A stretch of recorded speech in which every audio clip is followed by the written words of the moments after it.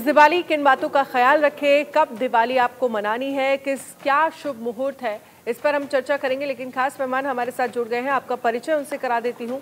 स्वामी दयानंद पाताल बाबा हमारे साथ स्टूडियो में मौजूद हैं। स्वामी शैलेशानंद गिरी महामंडलेश्वर है हमारे साथ स्टूडियो में। स्वामी उपमन्यु एस्ट्रोलॉजर हैं। आचार्य जीतू सिंह ज्योतिषाचार्य हैं। ऋतु सिंह वास्तुगुरु हमारे साथ जुड़ गई हैं। राज पुरोहित मधुर ज्योतिषाचार्य हैं और साथ ही doctor Madhu Kotiya, tarot card reader हमारे साथ स्टूडियो में मौजूद है। सबसे पहले मैं आऊँगी। मधुर जी, आपके हिसाब से क्या इकतीस को दिवाली मनाना, मनानी चाहिए? और मुहूर्त क्या है? पूजा का शुभ मुहूर्त क्या है? और साथ ही इस दिवाली की पूजा, क्योंकि साल भर में एक पूजा आती है, और माँ लक्ष्मी को प्रसन्न करने की ये पूजा है तो किन बातों का खास ख्याल रखना चाहिए? विशेषकर जो शास्त्रोक्त मत है, और शास्त्रोक्त मत के अनुसार जो वाराणसी के तमाम पंचांग हैं और उन पंचांगों का अनुच्छेद अपने जीवन में न शामिल करते हुए आप सिर्फ़ इतना समझें कि महावीर और ऋषिकेश और धीरे धीरे यह भी जो तमाम प्रकार के प्रचलन में पंचांगों की उत्पत्ति हुई है, तमाम प्रकार के विद्वेष वहाँ से उत्पत्ति होती है, जो सामान्य जनमानस को भटकाने की स्थिति में ले आते हैं लोग। लेकिन बीएचयू के जो प्रोफेसर, जो विद्वान वहाँ के बैठ करके सर्वसम्मति के मत के अनुसार क्योंकि पूर्व दिशा से ही सूर्योदय होता है और पूर्वांचल की परंपरा काशी की परंपरा से जब सूर्य अपने अस्त के समय पश्चिम दिशा की तरफ़ बढ़ता है तो बहुत ज़्यादा अक्षांश और रेखांश का अंतर नहीं आता 10, 20, 25 मिनट का। और इस अक्षांश रेखांश से एक दिन की तुलना नहीं की जाती। दूसरा ये कि यदि निशीथ व्यापिनी संध्या ना हो यदि प्रदोष काल स्थिर लग्न में ना हो तो उस तिथि का त्याग कर देना चाहिए। तो ऐसे में इकतीस तारीख को यह संपूर्ण स्थिति बन रही है। आप रात्रिकालीन में माँ भगवती लक्ष्मी को प्रसन्न करने के लिए 31 अक्टूबर को ही दीपावली मनाएँ। बाकी पर्व है। पर्व में हर्षोल्लास से आप अपनी स्थिति को सदैव आगे बढ़ाते रहें। रही बात कि किस विधि से आपको पूजन करना है तो पूजन की परिस्थितियाँ सामान्य होती हैं। दैहिक, दैविक, भौतिक तीन प्रकार के ताप होते हैं। और मनसा वाचा कर्मणा। तीन प्रकार से भक्ति की जाती है, नौ प्रकार की भक्तियाँ होती हैं। लेकिन मन से, वचन से और कर्म से। मन से क्या करना है? अपने आप को उपस्थित रखना है। कर्म से क्या करना है? सामग्री को चढ़ाना है। वचन से क्या करना है? आरती, चालीसा आदि तमाम प्रकार से जो मंत्र ब्राह्मणों, वैदिक विद्वानों द्वारा बताए जाएँ, उसका आपको उच्चारण करना है। अब रही बात कि पूजन विधि का जो क्रम है, वो जान लेते हैं सामान्य शब्दों में, क्योंकि पूजन दो तरीके के लोग जो है करते हैं। एक तो बहुत सामग्रियों को लेकर के करते हैं, और एक मिट्टी की प्रतिमा गणेश लक्ष्मी की स्थापित करके सामान्य जनमानस, जो निचले वर्ण में आते हैं लोग, जिनके पास बहुत सुख सुविधाएँ नहीं है, वह भी लक्ष्मी की कृपा प्राप्त करने के लिए करते हैं। तो दोनों के लिए सटीक है। स्थिति क्या है? आप लाल आसन पर विराजमान हो, लाल हो या पीला हो, आसन कोई भी हो वस्त्र का विशेष ध्यान रखें कि काले कलर के, नीले कलर के वस्त्रों का विशेष रूप से निषेध है। लेकिन नीला कलर का वस्त्र माताएँ पहन सकती हैं, लाल कलर के वस्त्र को भी धारण कर सकती हैं। पुरुषों को साक्षात ध्यान देना चाहिए, स्त्री की परंपरा मर्यादा के लिए यह व्रत रखा जाता है, जिसमें आपको वस्त्रों की भूमिका इसलिए रखनी है कि जब आप स्त्री के सम्मान के लिए यह पूजन कार्य करते हैं, लक्ष्मी को प्राप्ति के लिए करते हैं तो कुछ पुरुषों की निकृष्ट विचारधारा, जो कि बच्चियों को भ्रूण हत्या यानी गर्भ में ही वो समाप्त कर देना चाहते हैं, लेकिन लक्ष्मी की आरती उतारते हैं। तो ऐसे पुरुषों को आज के दिन अगर श्वेत वस्त्र धारण करके, अपने मन को स्थिर करके लक्ष्मी को प्रसन्न करेंगे तो बेहतर कृपा प्राप्त होगी। रही बात भगवान को जब आप आसन दें तो लाल आसन दें। विशुद्ध लाल आसन हो और उसमें देवी देवताओं की प्रतिमा को समायोजित करें। साथ ही साथ कुल देवी की प्रतिमा को अवश्य आज बैठाएँ। कुल देवी अगर आपको नहीं पता है तो गाय के गोबर से निर्मित जो गौरी हैं, उनको आप पान के पत्ते पर स्थापित करें। और अन्य पूजन के क्रम में आप जल से स्नान कराएँ, दूध, दही, घी मधु शक्कर से स्नान कराएँ, पुनः शुद्ध जल, गंगा जल से स्नान कराएँ।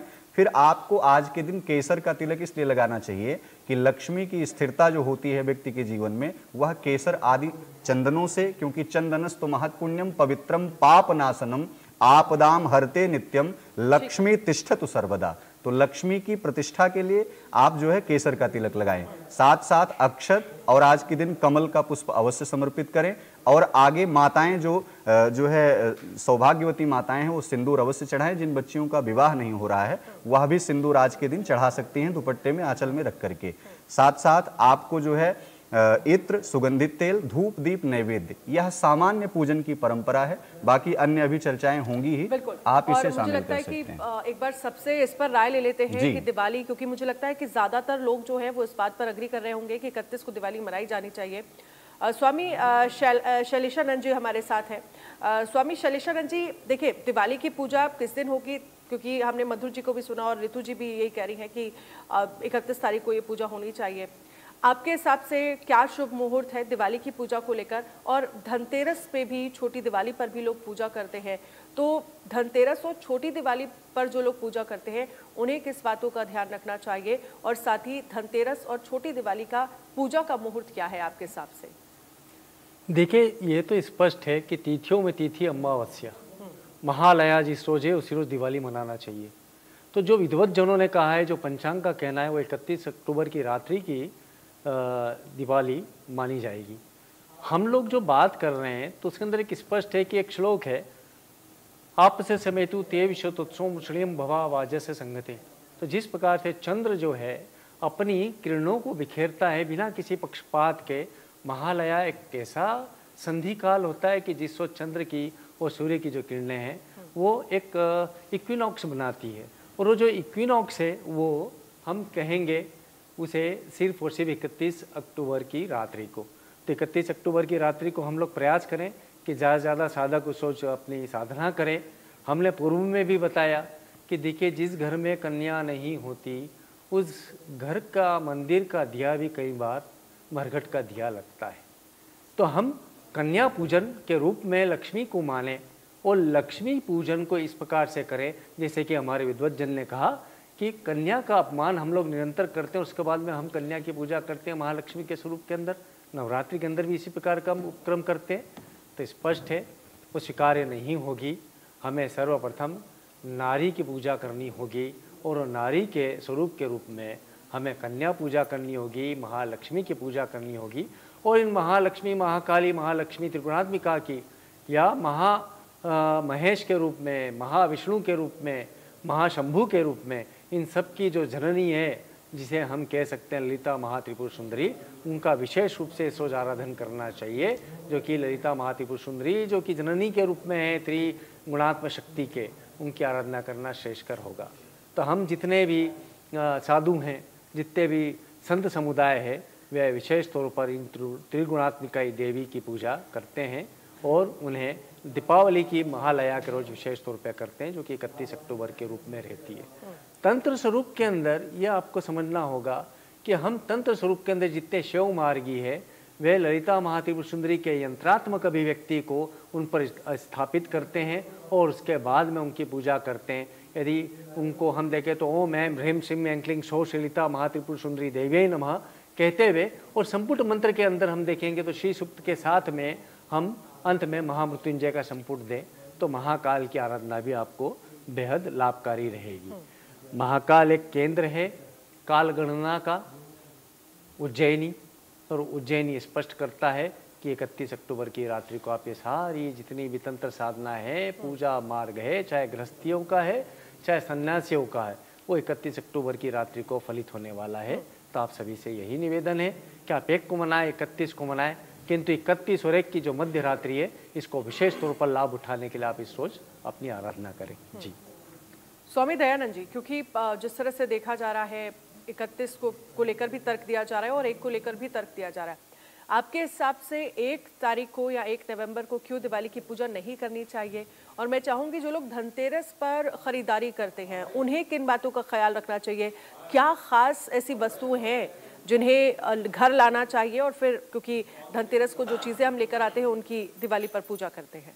देखिए, आपके न्यूज़ चैनल से मैं ये पूरे विश्व को बतलाना चाहता हूँ कि जिस दिन जिसकी उत्पत्ति होती है, उसी दिन उसकी बर्थडे मनाया जाता है। चाहे वो मनुष्य हो, चाहे देवता हो, चाहे गण राक्षस विकास कोई भी हो। तो समुद्र मंथन जो है, वो श्रीमणि रंभा वारुणी अमीय शंख गजराज धन धन मंत्री कल्पतरु चंद्र चाप विश्ववाद ये अमावस्या के दिन माँ का प्रकट हुआ था। और इसमें देवता लोग श्लोक भी बनाया। हालाँकि राक्षसों ने तो इतने उनको नशा चढ़ गया था, क्योंकि पहला दिन मंथन था, और सांप के मुखार बिन से इतना विष निकला था कि सब राक्षस जो है बेहोश हो गए। उस समय हमारे देवताओं ने श्लोक बनाया, महालक्ष्मी च विष्णु पत्नी च धीमहि, तन्नो लक्ष्मी प्रचोदयात। अय महालक्ष्मी, आपको विष्णु भगवान जो सर्वेशा चे देवानाम राजा पुरुषोत्तमा, सर्वेशा क्षेत्रा नाम राजा पुरुषोत्तमा, सर्वेशा मासा नाम राजा पुरुषोत्तमा। अर्थात सोलह कलाओं से युक्त विष्णु भगवान आपको अंगीकार करें। इसके बाद में हमारे देवताओं ने या उच्च श्रेणी के ऋषियों ने इसको बनाया हिरण्यवर्णम हरणी सुवर्णम रजतस्य जाम चंद्राम हिरणमयी लक्ष्मी जात वेदो माया वह है माँ, इस पृथ्वी पर रहने वाले सभी जन को आप सावा मन सावा मन चांदी का आप दो जिससे वो पूजा पाठ में और अपने उपयोग करें।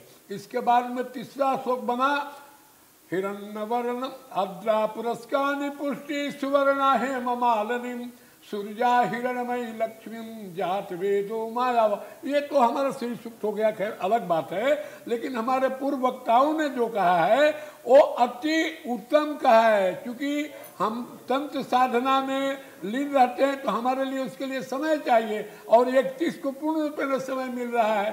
और ये दोनों दोनों देखिए चंद्रमा की गति है बहुत ज़्यादा है सूर्य की गति बहुत कम है दोनों एक रेखा में आ रहे हैं। तीसरी बात है कि आपको ये जो ये मिल रहा है, आपको बावन में भी एक बार हुआ था, चौवन में हुआ, तिरसठ में इसी तरह से हुआ था। ये कोई ऐसी बात नहीं कि आज नया होता है, लेकिन विद्वानों ने सोच समझ के जो हमारे काशी के विद्वान है, चाहे यहाँ पर जो सभी आदमी विद्वत परिषद आपके पास बैठा हुआ है सभी विद्वान है। वो जो निष्कर्ष निकाला है कि इकतीस तारीख को ही दिवाली मने उसमें सारा चीज़ जो है आपको मिल जाता है। पूजा का समय तंत्र का समय और दीपावली किसकी है? रात की पूजा होती है। दिन की पूजा दीपावली की नहीं है। इसमें नक्षत्र मिले उससे कोई मतलब नहीं है। दिन मिलना चाहिए। ये जो है दीपावली जो है वो आराधना की पूजा है। माँ की आराधना की जाती है। ये नक्षत्र का पूजा नहीं है। बहुत से चीज़ है जो नक्षत्र का पूजा होता है। लेकिन ये जो है, ये दीप मालिका जो है, माँ की पूजा है। माँ काली की पूजा है।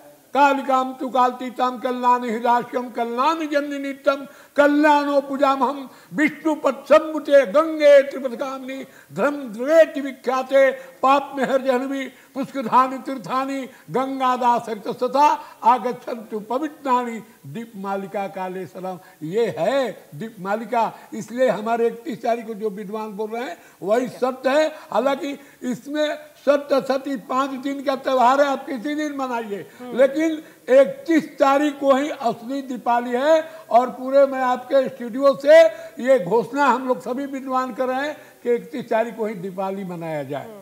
और आपने तर्क भी दे दिया क्योंकि ये जो पूजा है वो रात की पूजा है माता की आराधना जो है वो रात को आ, की जाती है इसलिए इकतीस को ही दिवाली मननी चाहिए।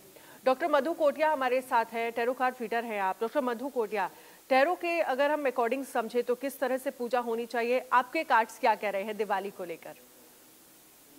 दिवाली एक खुशी का त्यौहार है।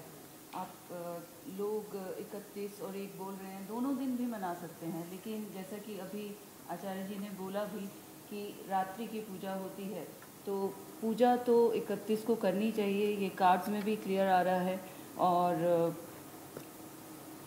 जितने भी डॉक्यूमेंटेड चीज़ें हैं, उनमें भी क्लियर आ रहा है तो इकतीस की पूजा करें और दो दिन दिवाली मनाइए, खुशी का त्यौहार है, दो दिन खुश रहिए, क्या दिक्कत है? जी उपन्यु जी भी हमारे साथ है उपमन्यु जी उपमन्यु जी आप आपके अकॉर्डिंग क्या इकतीस को दिवाली है और जिस हिसाब से बताया हमें स्वामी दयानंद जी ने भी आ, वो अगर हम समझे किन बातों का ख्याल रखना चाहिए और साथ ही मैं चाहूँगी कि आप धनतेरस के बारे में भी बताइए और छोटी दिवाली आ, पर भी आ, किन बातों का लोग ख्याल रखें किस तरह से पूजा करें। धनतेरस को लेकर भी लोग घरों में पूजा करते हैं।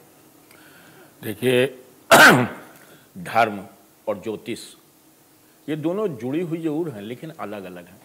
अभी अभी दयानंद जी ने एक बात कही कि नक्षत्र उनको मत देखो। ठीक बात है ना? लेकिन जहाँ ज्योतिष की बात कह रहे हैं तो अमावस जो है वो शाम को लग रही है इकतीस को। अमावस में और दूसरे दिन लग रही है तो तिथि वो अच्छी मानी जाती है जिसमें सूर्योदय और सूर्यास्त दोनों हो। तो एक तारीख को सूर्योदय भी उसमें है और उसमें। बाकी आपके ऊपर है, आप क्या मना रहे हैं? आपकी आस्था के ऊपर है। धर्म अलग चीज़ है। धर्म और इन दोनों को चलता साथ साथ है। नक्षत्र देखेंगे, तिथि देखेंगे, वार देखेंगे, कर्ण देखेंगे, योग देखेंगे। ये सब पाँचों चीज़ का एक पंचांग होता है।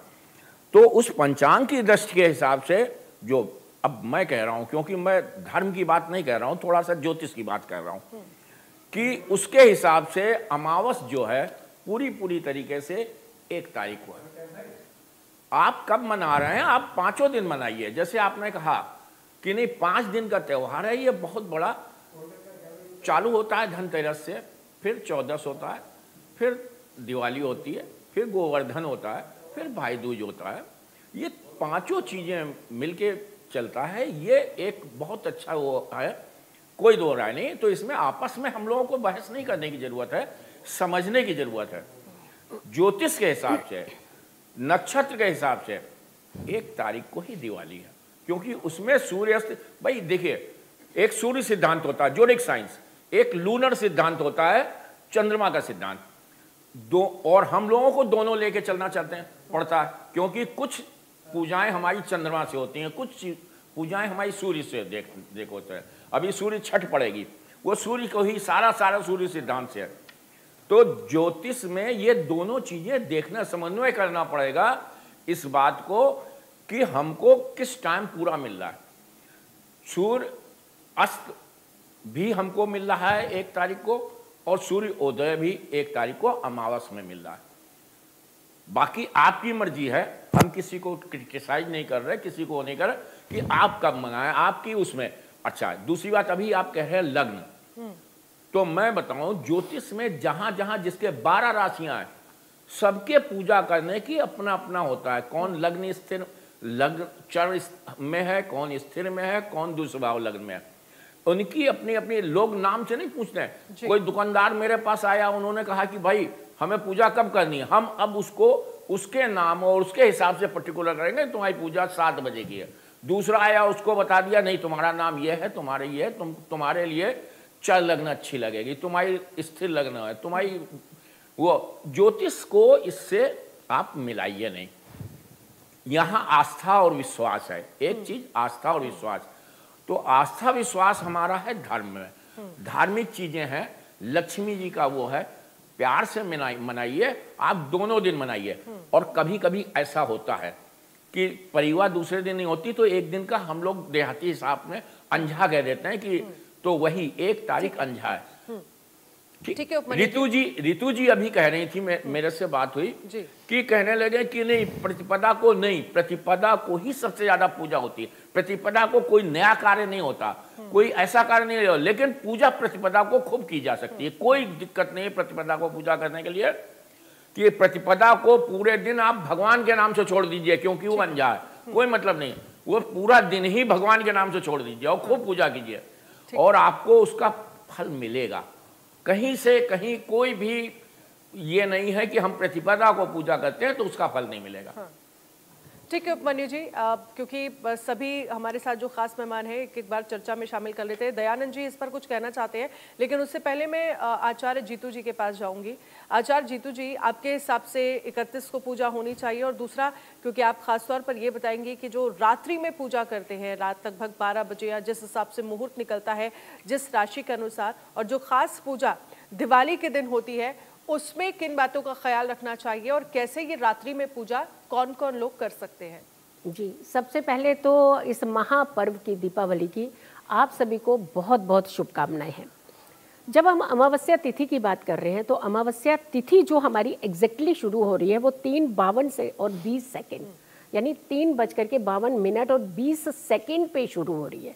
और ये तिथि जो समाप्त तो हो रही है, वो एक तारीख को, इकतीस को शुरू होकर के एक तारीख को शाम को छः बजकर के सोलह मिनट नौ सेकेंड पर समाप्ति है इसकी। अब उदया तिथि तो बहुत मान्य मानी जाती है हमारे किसी भी पर्व में। लेकिन जब हम अमावस्या की बात करते हैं तो रात्रि तिथि हमारे लिए बहुत मान्य होती है। लेकिन यहाँ पर सिर्फ़ सवाल पटाखे उड़ाने, ये मिठाइयाँ बांटनी या गेट टुगेदर करना, ये नहीं है। ये हमारे लिए पूजा और भक्ति और माँ को प्रसन्न करके ढेरों आशीर्वाद धन के रूप में अपने लिए लाना, यानी सुख और समृद्धि साल भर हमारे जीवन में बनी रहे। यहाँ पर अगर हम रात्रि की बात कर रहे हैं तो रात्रि में स्थिर लग्न आपके लिए बहुत अच्छा है। वो 31 को ही कीजिएगा। लेकिन अगर आप मेरे को निजी पर्सनली पूछेंगे क्योंकि जब हमें ज्योतिष सिखाया गया तो सबसे पहले पंचांग सिखाया जाता है। पाँच अंग जो हमारा एक नियम होता है पहला ज्योतिष का नियम। अगर हम पंचांग को निर्धारित करते हैं तो हमें एक तारीख को मान्य मिल रही है हमारी तिथि अमावस्या की तिथि जहाँ सूर्य उदय भी है जहाँ सूर्य अस्त भी है। और फिर जब प्रदोष काल दो दिन लगातार पड़ता है तो हम परा को लेते हैं, यानी दूसरे दिन का प्रदोष काल मान्य होता है। तो अगर मेरे, मुझे अगर पूछेंगे कि आप किस दिन पूजा करेंगे, मैं तो पूजा एक तारीख को करूँगी। मैं अपने ऑफ़िस की पूजा भी एक तारीख को ही करूँगी, लेकिन सिंह लग्न की पूजा मैं 31 की रात्रि में ही करूँगी। क्योंकि सिंह लग्न जो है वो आपको 31 की रात्रि यानी कंप्लीट होने के बाद 12 बजे तो वैसे ही दिन निकल जाता है। 12 बजे तो हम दूसरी तिथि को मान्य कर लेते हैं। उसको आप 31 मानिए या एक मानिए। आपको दोनों के बीच का एक अच्छा समय मिल रहा है। जब आप सिंहस्थ लग्न की पूजा कीजिएगा वो समय मैं आपको बता देती हूँ। एक बज करके नौ मिनट मध्य रात्रि के इकतीस के मध्य रात्रि और ये तिथि जो है तीन बज करके बारह मिनट तक जा रही है। तो आप एक से तीन तो करिएगा ज़रूर। अब देखिए, यहाँ पे इतनी आस्था का पर्व है। सही में यहाँ गुंजाइश, बहस की नहीं है, यहाँ आस्था की ज़रूरत है। आप इकतीस मनाइए, एक मनाइए। मैं निजी तौर पर अपना पर्सनली कहूँगा, मैं एक को ही मनाऊँगी, लेकिन सिंह लग्न की पूजा मैं मध्य रात्रि में ही करूँगी। ध्यान किन चीज़ों का रखना है सबसे पहले? जब आस्था होती है ना तो डाउट नहीं होता। जहाँ डाउट होता है, वहाँ आस्था ही नहीं होती। तो यहाँ डाउट को पहले पीछे रखिए। जब आप माँ लक्ष्मी को मनाने जा रहे हैं आप मध्य रात्रि में पूजा करिए आप एक तारीख को पूजा कीजिए वो आपका निजी फैसला होगा लेकिन हम पंचांग को अगर निर्धारित मान करके कहते हैं क्योंकि सूर्य अस्त और सूर्य उदय ये हमारे लिए बहुत इंपॉर्टेंट माना जाता है। लेकिन हाँ डेफिनेटली हम अमावस्या में रात्रि को हम इग्नोर नहीं करते लेकिन रात्रि में हमें सिंह लग्न मिल रहा है ना तो रात्रि में आप पूजा कर लीजिए। सेलिब्रेशन आप एक तारीख को कर लीजिए ऐसा भी आप कर सकते हैं। ध्यान रखिएगा रात्रि जागरण। ध्यान रखिएगा अपनी आस्था में किसी तरीके की चूक ना हो। ध्यान रखिएगा कोई नेगेटिविटी थॉट्स जो है वो आपके इर्द गिर्द ना आए। आप रात को जाग करके माँ को मना लीजिए ना। साल भर आप भागते हैं कि हम ये उपाय कर लें हम ऐसा कर लें पैसा आ जाए धन तेरस है तो खूब दबा करके शॉपिंग कर लें। हम कह रहे हैं कि दीपावली की मध्य रात्रि में सिंह लगन में बैठ करके सिर्फ़ और सिर्फ़ माँ का ध्यान करते हुए, विष्णु जी का ध्यान करते हुए, नारायण का ध्यान करते हुए आप पूजा कीजिए कमलगट्टे की माला से। जो मंत्र आपको कंठस्थ है, उस मंत्र का जाप कीजिएगा। अगर नहीं कंठस्थ है तो उसमें भी चूक मत कीजिएगा। तो आप ध्यान सिर्फ़ माँ लक्ष्मी का ध्यान करते हुए, ओम नमः शिवाय की तो खैर हमें जाप करना ही चाहिए सबसे पहले। फिर दूसरा जाप करना चाहिए ओम लक्ष्मी नारायणाय नमः। यानी नारायण जहाँ होते हैं तो लक्ष्मी तो वहाँ से जाती ही नहीं है। तो उनका ध्यान कीजिएगा और हो सके तो एक महा उपाय आपको बताने जा रही हूँ उसे ज़रूर कीजिएगा। एक चांदी का सिक्का अगर आपके पास है घर में है या खरीदा हुआ है जो भी जैसा भी आपको गिफ्ट में मिला है तो चांदी का सिक्का एक चांदी की डिबिया है तो बहुत अच्छा अगर नहीं है तो एक स्टील की डिबिया में चांदी का सिक्का रखिए और उसके ऊपर अक्षत डाल दीजिए चावल डाल दीजिए। और चावल से उसे पूरा ढक दीजिएगा। और उसके ऊपर एक सुपारी लाल रंग का तिलक लगा करके रख लीजिए और उसे आप अपने धन स्थान पर रख लीजिएगा। हर पूर्णिमा पर इसमें से कुछ चावल निकाल करके घर में खीर बनाइए उससे माँ लक्ष्मी को भोग लगाइए और उतने ही चावल उसके अंदर फिर से भर दीजिए जितने चावल आप उसमें से निकालें। यकीन मानिए साल भर आपके घर में धन की वर्षा होगी। जी। ठीक है आपने उपाय भी बताया और मुझे उम्मीद है कि जो दर्शक आपको सुनने होंगे वो ये उपाय दिवाली के दिन ज़रूर करेंगे। लेकिन दयानंद जी रितु जी आपसे मैं कुछ ही देर में समझूँगी कि राशि के अनुसार कैसे माँ लक्ष्मी को प्रसन्न किया जाए। लेकिन अब दो तारीखें आ गई हैं दयानंद जी। हमने रितु जी को सुना और हमने साथी जीतू जी को सुना। जीतू जी कह रही हैं देखिए कुछ पूजा जो है वो आप इकतीस को कर सकते हैं और बाकी एक को आप सेलिब्रेशन कर सकते हैं। लेकिन आप कह रहे हैं कि सिर्फ़ और सिर्फ़ इकतीस को ही पूजा होनी चाहिए? जो एक तारीख है उसमें पंद्रह सेकेंड आप पंद्रह मिनट टाइम पंद्रह टाइम में तो आपको दीपक जलाने में लग जाता है। उसमें पूरा समय नहीं मिलता है। हमारा कहने का मतलब है कि जो अथर्वा शीष का जो साधक पाठ करता है कम से कम उसमें 20 मिनट समय अथर्वा शीष में लगता है। शांति से कीजिएगा। और संसार का सबसे बड़ा मंत्र है जो दत्तात्रेय द्वारा ये परशुराम जी को दिया गया है। अथर्वा शीष सबसे संसार का और ये जान लिए उस मंत्र में गुण है कि उसको रात में जपने के बाद उसके यहाँ कभी भी अकाल मृत्यु नहीं होगा। उसके यहाँ जो जपता है उसका पूरा परिवार की बात कर रहा हूँ। वो कभी परिवार डूबेगा नहीं। उस परिवार का एक सदस्य। जलेगा नहीं। ऐसा ताकतवर मंत्र है तो इसलिए दीपावली के दिन ही जो है इकतीस तारीख को पड़ रहा है। हम एक तारीख होला में नहीं ये कर सकते हैं पूजा पाठ और उस दिन समय कहाँ मिल रहा है? ये बोल रही कि समय समय है ही नहीं।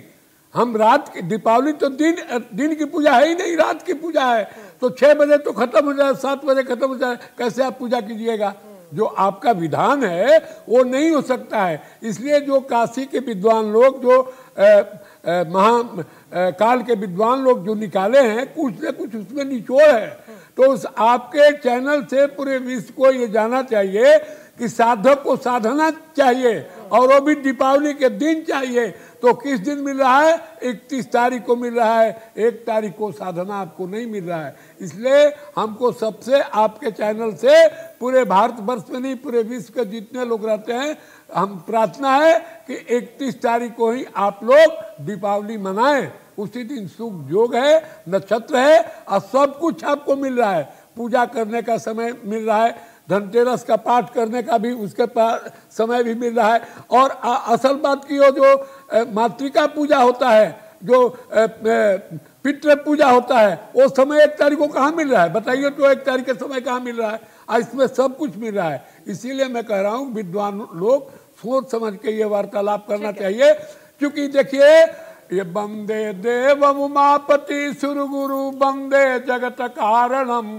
वंदे पनगभूषणम मृगधरम वंदे पशुनाम पति वंदे सुरशशांग नयनम वंदे मुकदम प्रिय वंदे भक्त जनाश्रय च वर्द शिव शंकरम इस संसार को किसने बनाया? भगवान शंकर ने बनाया और उनको दिव्य ज्योति, ज्योतिष ने दिया। चंद्र और सूर्य दोनों आई। तो सूर्य का गति बहुत कम है, चंद्रमा मन से जाते, उसकी ज़्यादा गति है। तो आप लोग मन से भगवान शिव भूत भगवान का नाम लेकर के और दीपावली को माँ लक्ष्मी नारायण का मंत्र से आप इसको मनाइए और खूब खुशी मनाइए। तो मैं बोला कि पाँच दिन का त्यौहार है दीपावली का ये पाँच दिन मनाइए। लेकिन असली जो है वो पड़ रहा है इकतीस तारीख को ही पड़ रहा है। एक तारीख को नहीं आ रहा है। ठीक है ठीक है। अ, हमारे साथ ऋतु जी हैं। ऋतु जी देखिए वास्तु के हिसाब से भी मैं चाहूँगी कि आप हमारे दर्शकों को बताएँ कि किन बातों का ख्याल रखना चाहिए और साथ ही कुछ महा उपाय और क्या खास ऐसी चीज़ें हैं जो माँ लक्ष्मी को चढ़ाकर भक्त प्रसन्न कर सकते हैं?